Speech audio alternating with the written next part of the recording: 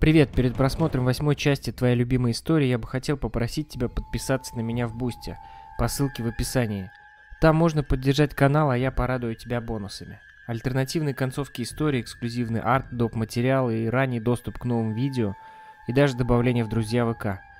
Также от твоей помощи будет зависеть, как быстро мы сможем сделать игры и комиксы, потому что от Ютуба сейчас отдачи, как вы знаете, совсем нет.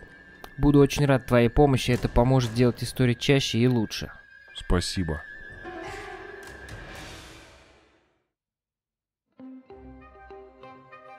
За все время, пока я жил до весны в кинотеатре, я повидал много жутких штук. Например, однажды ночью я услышал странный вой на улице.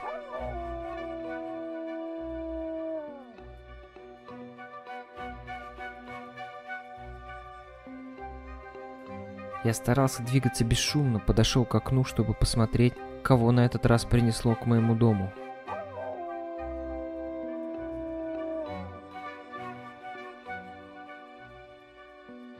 Это была стая бродячих собак. Да не просто собак, а собак-зомби. На некоторых из них не было кожи и шерсти, их клыки блестели в темноте, а глаза светились желтым светом. Из-за этих собак я не мог выйти из своего убежища целых три дня. Они что-то чуяли, но не видели меня. Вода закончилась, а они даже не собирались уходить. Я боялся выйти на лестницу, так как знал, что они могут кого-то привлечь сюда своим лаем. Кого-то пострашнее. Но однажды собаки пропали. Куда делись эти твари? Я постоял возле окна еще немного, но ничего так и не увидел. Нужно было идти за водой. Я ее брал в соседнем подвале. На удивление, там все еще работал кран. Я взял две большие бутылки и осторожно спустился на улицу. В руке я держал палку, утыканную гвоздями. Это я видел в какой-то игре. Слава богу, этих тварей нигде не было видно. Я подошел ко входу в подвал.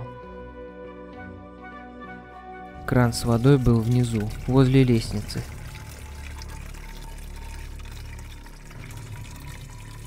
Туда дальше я не ходил. Уж больно гнетущая и жуткая тишина была там. Я постарался как можно скорее набрать воду. И уже собрался уходить, как вдруг увидел наверху лестницы собаку. Ту самую тварь, которая была возле кинотеатра. Я на автомате шагнул назад. Сзади меня зиял темный проем подвала, куда в здравом уме я бы никогда не пошел. Но тут у меня не было выбора. Я забежал внутрь. Я слышал, как собака бежала за мной. Слышал, как она рычала. Но потом наступила тишина. Раздавался только шум моих шагов. Темнота была такая, что я даже не видел, куда наступаю. Но страх нес меня вперед. Стоял жуткий запах гнили. Тут я споткнулся о что-то мягкое. Что это? Что-то лежало на земле. Я задержал дыхание. Глаза стали привыкать немного к темноте. Я зажег спички. Это была груда.